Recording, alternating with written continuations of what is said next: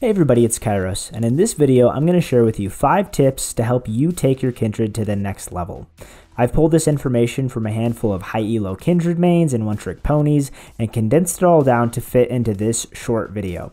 Be sure to use these tips along with the Mobalytics app to stay up to date on Kindred's optimal runes, items, matchups, and other important stats that change with every single patch.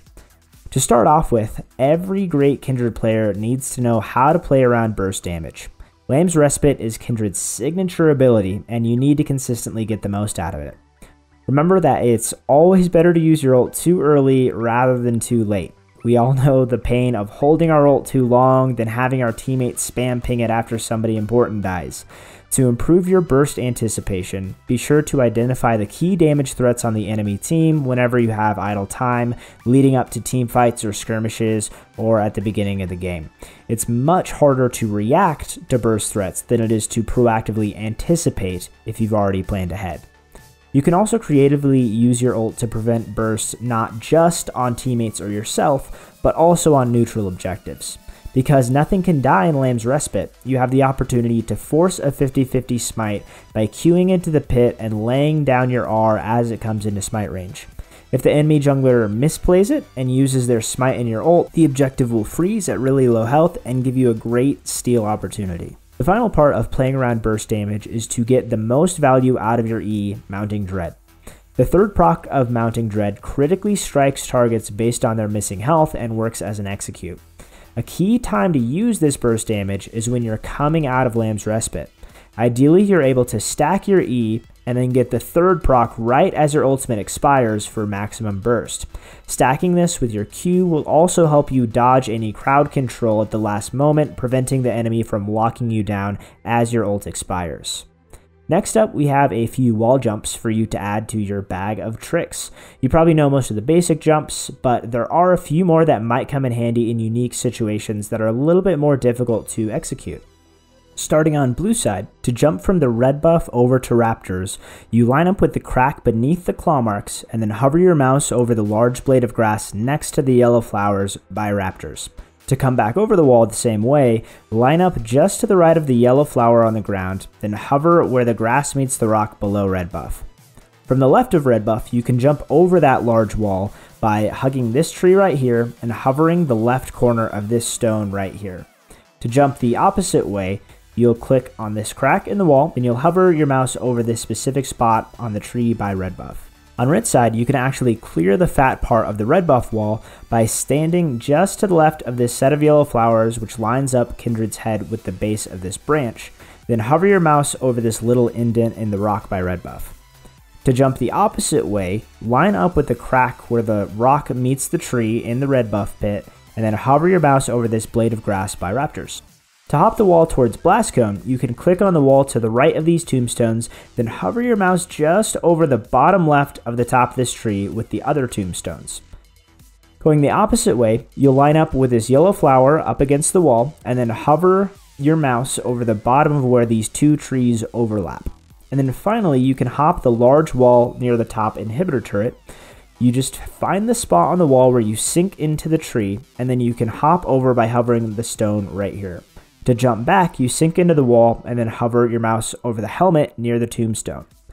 And I highly recommend practicing all of these in the practice tool before you jump into a ranked game and try to pull them out.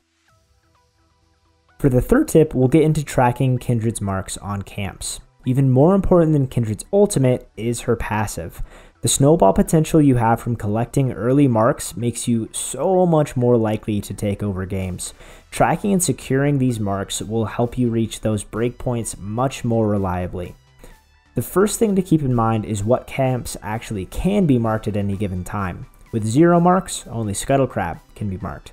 Between 1 and 3, it's the scuttle crabs, raptors, and gromps that can be marked. From 4 to 7, it's krugs, wolves, and buffs, and then 8 or more means only epic monsters can be marked.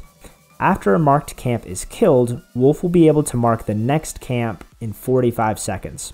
If no camps in the appropriate tier are alive on the map, Wolf will mark the next viable camp as soon as it spawns. So getting respawn timers when invading on Kindred is very helpful for this tracking. If a marked camp is cleared by an enemy in Fog of War, the mark will disappear from the minimap 15 seconds after. So if you see a mark disappear from the minimap, that tells you two things. First of all, it gives you an idea of where the enemy jungler could be. They're within a 15 second walking proximity of that spot. Also, it tells you that the next camp will be marked in 30 seconds from when you see it disappear. Once you've tracked this and you know when the next camp is spawning, you can anticipate which camp is going to receive the mark and then you can be there as soon as it hits and it's actually really satisfying to do that properly. For the next tip, be sure to use your marks on champions and camps properly to apply pressure across the map. And there's a few different ways to do this. First of all, you can create artificial pressure by marking an enemy that you have no intention of ganking. The enemy may be setting up a dive on the opposite side of the map, but by marking them, you'll at least make them second guess themselves if they don't have any information on where you are. This creates a false pressure on the map and can be used either as a deterrent for enemy aggression or intimidation towards vulnerable enemies that they might think that they're getting dove and then they play even safer or they leave the turret completely and they miss out on XP and gold. Either way, this can help you get in the head of your opponents and start playing mind games.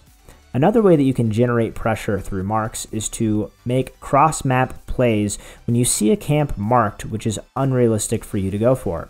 Typically, your opponent will try to clear your marks as soon as possible, and they just want to take away your opportunities to collect the marks.